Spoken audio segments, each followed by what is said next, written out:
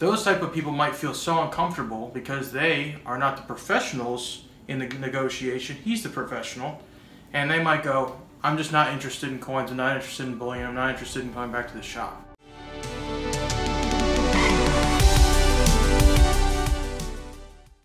Hey guys, this is Drew with Acousha Collectibles. Welcome back to a brand new video. In this video, we're going to be talking about how to lose a coin collector as a client in 60 seconds. Let's get this video started.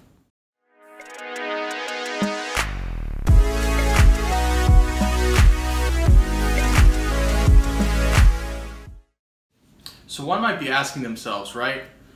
Uh, you go to a coin show or you go to the store, for example, and so say your mom or your girlfriend or your wife wants you to go pick something up. Go pick up some mayonnaise, go pick up some Bush's beans. We're not sponsored by any of these people, but you know, hey, maybe one day, right? So you go to the store and you're you're reaching to grab for it, right? Right out of the shelf. And someone pulls it back and they go, they come out of the shelf and they go, What's your offer for this? What's your offer, right? And and the question would be for me, right? So this is kind of where we're trending with the coin area and why you're going to lose a client if you do this, is that I'm the buyer and you are the business. You want to sell stuff, you want to make money. If you're going to include an extra step for somebody when you're selling a coin or selling a product, sometimes they might just say it's not worth the trouble. And so uh, what I would kind of correlate with this is that we tried to buy a coin this week from somebody for our personal collection, and we were very interested. We asked them what the price is, and uh, they said, "Well, what's your offer?" Okay, and so right when you're in that area, there's two different things that could happen. You give them an offer they don't want, or offer they can't refuse, or you give them an offer so they can go use your offer to barter with somebody else and get a higher price. So right when someone asks that question, it instantly puts the, the buyer in a box where people feel like they're trying to be taken advantage of or they're trying to be, you know, if like I said, if you're selling a coin, if you're selling a product, have a price on it because the person doesn't know how to answer it sometimes. But we're both coin dealers when we were talking, so we're both in the game. I offer him something that's a little bit above retail at 350 for this coin. And his response was, pass thanks. Pass thanks. Pass thanks. That's all. No counteroffer, no what he wanted for the coin, not even a response of any type of being cordial or anything like that. And so, uh, for me, that really turned me off as someone that wanted to buy from him. But also, the question really led to if he is selling coins, selling gold, and all that stuff, and someone that comes into a shop doesn't necessarily know coins, doesn't necessarily know gold, but they want to get into it, and he instantly comes up with this what would you offer me? Or what, what, what would make me happy? Give me an offer that would make me happy. Those type of people might feel so uncomfortable because they are not the professionals in the negotiation. He's the professional. And they might go, I'm just not interested in coins. I'm not interested in bullion. I'm not interested in coming back to the shop. And there's a lot of things that can stem from this, and this is something that I've really gotten an issue with over time.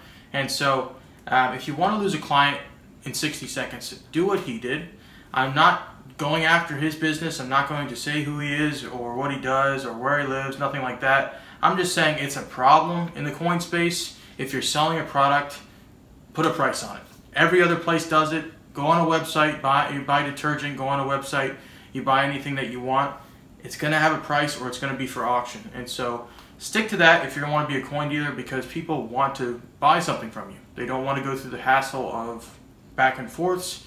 And so we're to make a little bit of a pivot here. We just uploaded uh, the TNA recap, our first ever episode of the Freedom Coin Show. If you guys want to check that out, we have a link down in the description below. Basically spending about 50 minutes talking about uh, the market. Do we think it's strong? Do we think it's weak? Uh, we talked about is TNA worth it for you if you want to set up as a table? Is the public strong?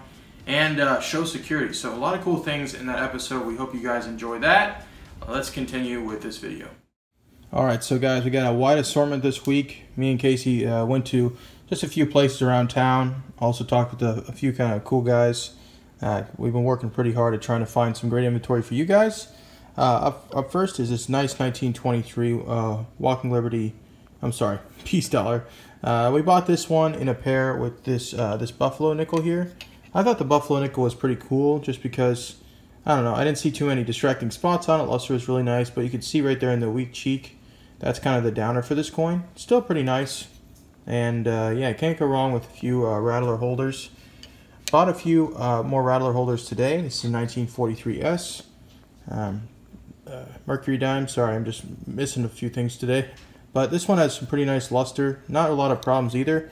I was wanting to double check and see if this one might be able to be, you know, a CAC candidate, possibly gold CAC candidate. But there might be some kind of distracting spots or uh, normally you run into some PVC or kind of milky spots that would take away from the grade. But this one looks pretty nice. Another one with a little bit of color here is this nice 1944S, grade MS65 by PCGS. When you take a look at this one and kind of angle it down a little bit, there's kind of some really big heavy spots here not sure if that's uh, PVC or not, but really want to check and see on these Mercs because the ones that are the most easiest to gold CAC um, are Mercury dimes from what I can see and understand about the market. And so double check your Mercury dimes, especially older holders. You probably can run into something that is gold CAC worthy, um, but it does take a lot of time, a lot of practice, and a lot of understanding that we're still trying to get equipped to. Here's one of the coolest buys of the week for us just because it's a little bit of a tougher coin to find. It's the 1893O Barber Quarter, graded MS63 by PCGS. I think there's less than 500 of these graded at PCGS. And uh, I saw this coin, I think the last sold comp of this coin was around $460 a few years ago. And uh, the dealer had it priced for about 500 bucks. I thought that was super fair, especially when the times that we're in right now and the, the coin market where it is. And so uh, ended up buying this one. Got this one for Trent because you know, deals like that sometimes are just so hard to, uh, you know, you got to time them right. You got to buy it as soon as possible. And uh, I hope Trent enjoys that one, especially for, you know, just his his set is really prestigious in my mind, and uh, he's really going to like that one. Bought this 1875 uh, AU50 uh, seated half dollar today. Uh, kind of an old, clean look to it, but bought it for a nice, affordable price. it is market acceptable, but nothing I would really send to CAC. Uh, you know, buying something like this though, uh, kind of a mid to high grade type of half for around 200 bucks is not too bad. You not only want to go for something that's a little bit more original, but sometimes you just need to fill it for the set, and uh, that's completely understandable. Bought two more collector grade uh, mercury dimes. So we sold two recently that were cacked, but these ones really were nice as well, and so we ended up going to buy these. These just really have some strong luster, really nice fields nothing that would really, like I said, there's no distractions on these coins in terms of its luster and uh, the spotting that you would normally see.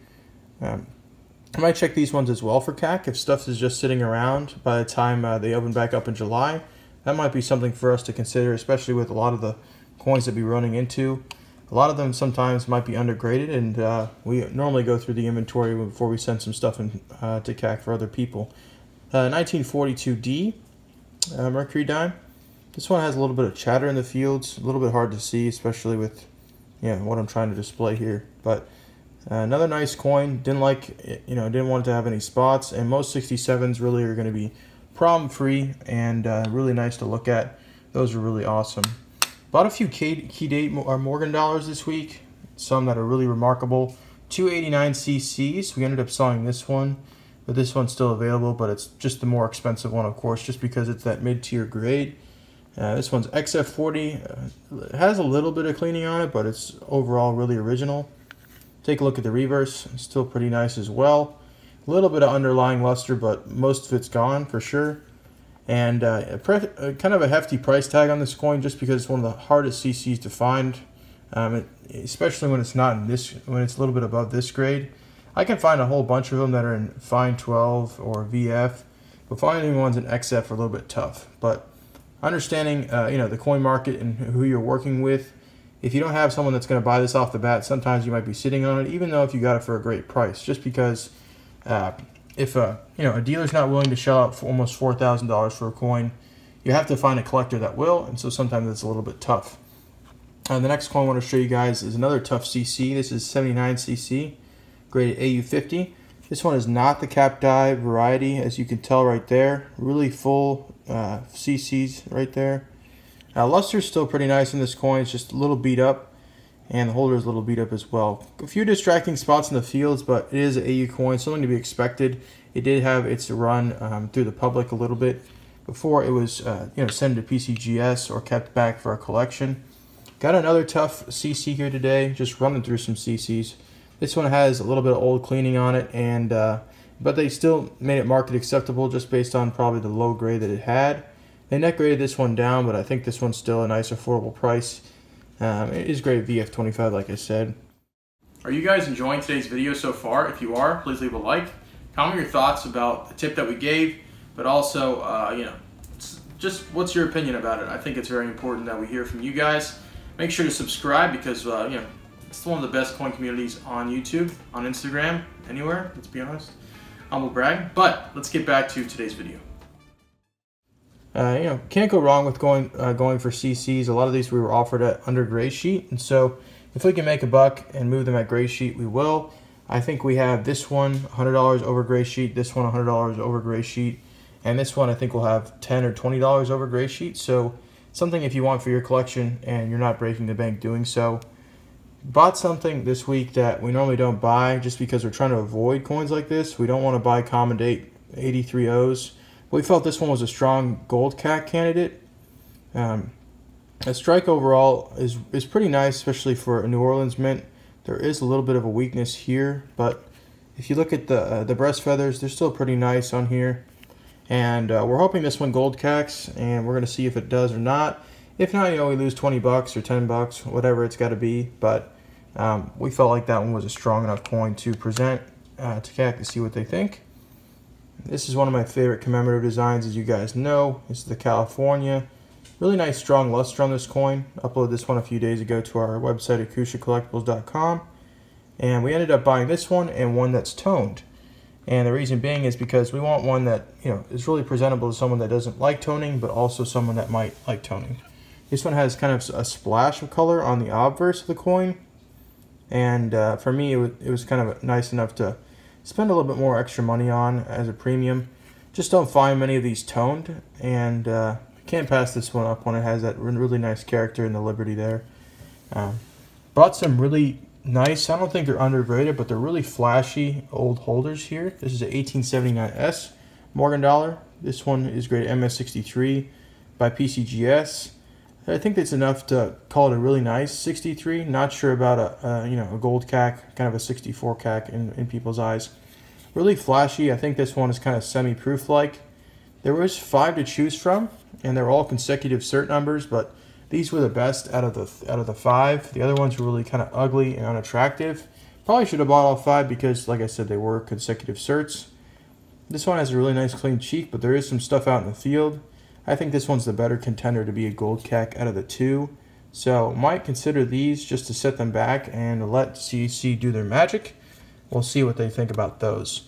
Bought some, you know, GSA Morgans. These have been, they almost went to like a high peak of some for 375, 400, and they kind of tapered back down to about 350, 340.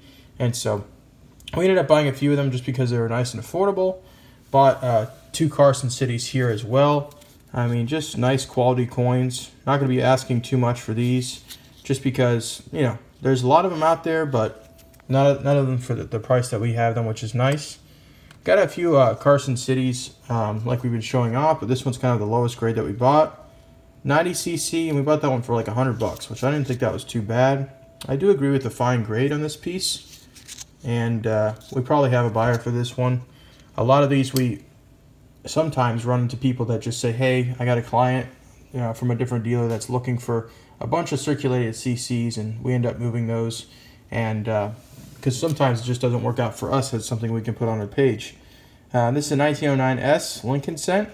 Not too sure on the grade of this coin. It does have some kind of uh, toning to it. I'm not too sure.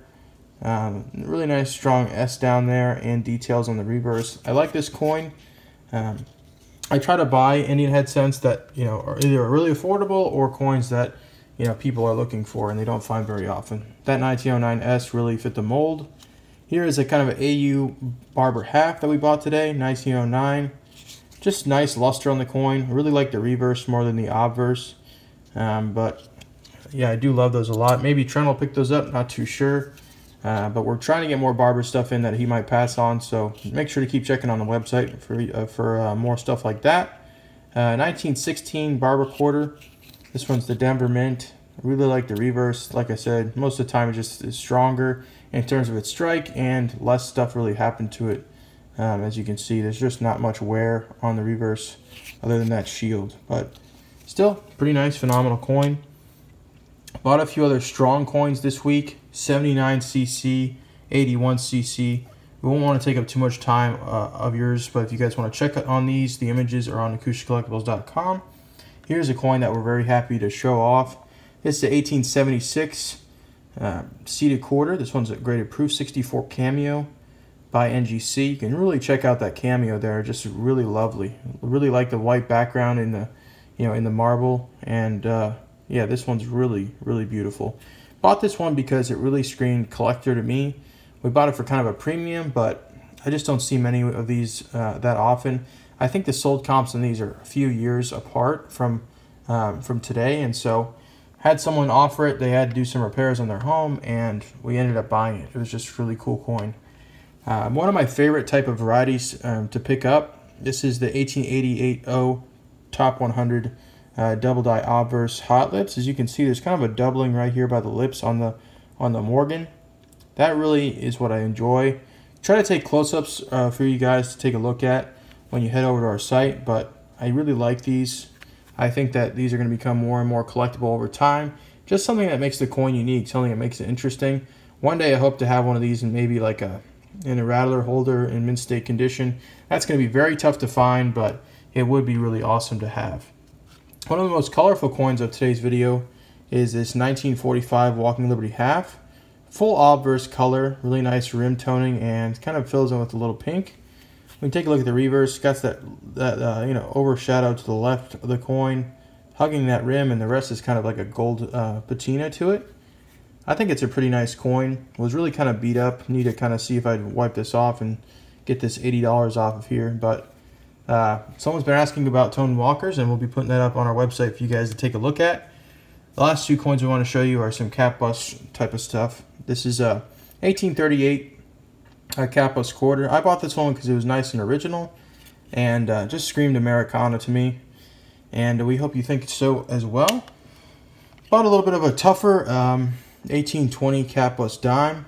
This one is the small zero variety, I believe. And uh, I don't run into these that often, and they sell pretty high. And so um, it's just something that I wanted to pick up on and understand a little bit more and take a risk on it. Someone ended up picking this one up recently, so very happy about that.